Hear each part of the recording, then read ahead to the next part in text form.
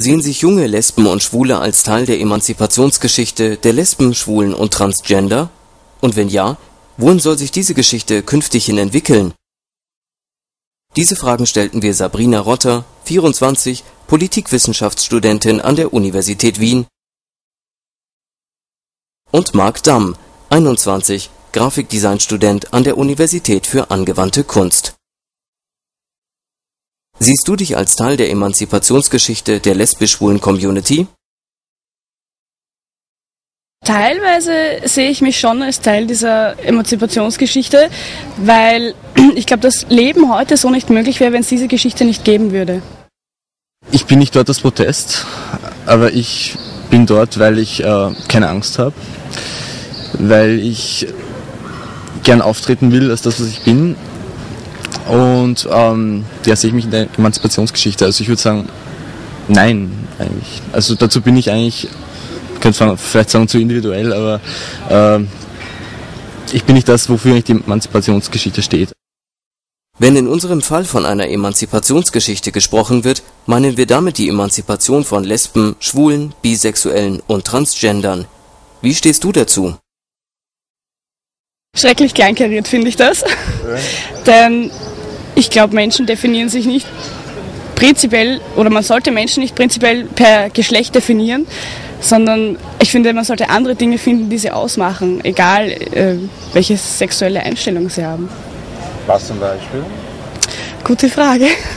Also ich für mich finde mich ja definitionslos, weil das tun ja eh andere, mich schubladisieren und Definitionen für mich erfinden. Wenn man mutig ist, kann man ja dann rausfinden, ob es wahr ist oder nicht, was man sich denkt. Wo würdest du die Emanzipationsgeschichte gerne hin entwickeln?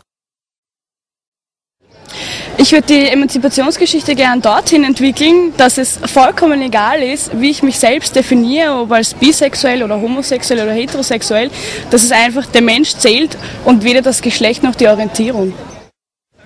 Ich würde gern die Situation irgendwie herbeischaffen oder gern dabei mitgestalten, dass es einfach, dass man sich nicht mehr verstecken muss eigentlich. Also ich gehöre eigentlich nur zu diesen Jugendlichen, wie soll ich sagen, die sie vom Internet entjungfern haben lassen. Und das ist eigentlich äh, also das soll es nicht sein. Ich meine, diese, diese, dieses Versteckspiel, das, das sollte meiner Meinung nach aufhören. Und äh, es nervt mich und es betrifft mich eigentlich auch persönlich.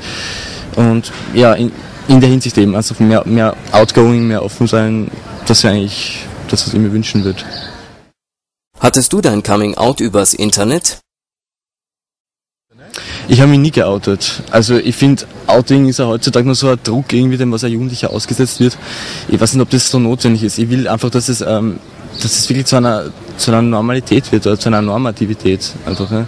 Ich finde, das, Out, das Outing an sich ist eigentlich heutzutage, das ist wirklich ein Zwang. Es ist ein unnötiger Stress, unnötiger Stress was eigentlich ein Jugendlicher oder zumeist ein Älterer aussetzen müssen. Ich meine, ich, ich habe mich irgendwie nicht jahrelang bewegt, aber ich meine, ich habe so mal Zeit gehabt, wo ich sehr oft mit dieser Doppelmoral eben äh, konfrontiert werde. Also du wirst im Internet angeschrieben von 50-Jährigen, 60-Jährigen, äh, die was ihre Frau bescheißen. Ja.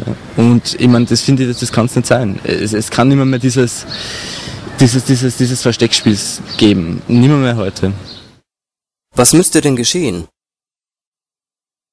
Ich könnte es einfach mit Reden antworten, aber ich glaube, dabei wird es eigentlich beim bisweilen bleiben. Einfach darüber reden, weiter darüber reden, Fragen stellen. Äh, ich finde schon mal wichtig, dass, das, dass es im Sexualunterricht anklingt, diese ganze Sache. Ich finde das einfach äh, eine Unverschämtheit, dass es verschwiegen wird. Ja. Ich habe mir das selbst, ich kann nicht so von mir reden, ich habe mir das alles selbst erdichten müssen ja. und habe jahrelang mit ewigen Spekulationen gelebt. Ja. Ich mein, bei mir ist es relativ früh für mich herausgestellt, dass ich jetzt äh, homosexuell bin. Aber ja, aber das kann es für mich nicht sein, eben, dass es so verschwiegen wird und das finde ich eigentlich eine Gemeinheit an sich. Braucht es denn die Regenbogenparade noch? Also dazu möchte ich nur kurz sagen, dass es sehr wohl wichtig ist, momentan zum Beispiel noch ein Zeichen zu setzen, dass es das gibt. Ja? Aber halt die Utopie von mir wäre, dass man das eben nicht mehr machen muss, weil es so normal ist, weil die Menschen das nicht mehr wichtig finden, ob jemand schwul ist oder lesbisch ist. Also eben die Gleichstellung von jedem Menschen in seiner Partnerschaft, wie immer er das wünscht, egal, welche Richtung er kommt oder welches Geschlecht er hat.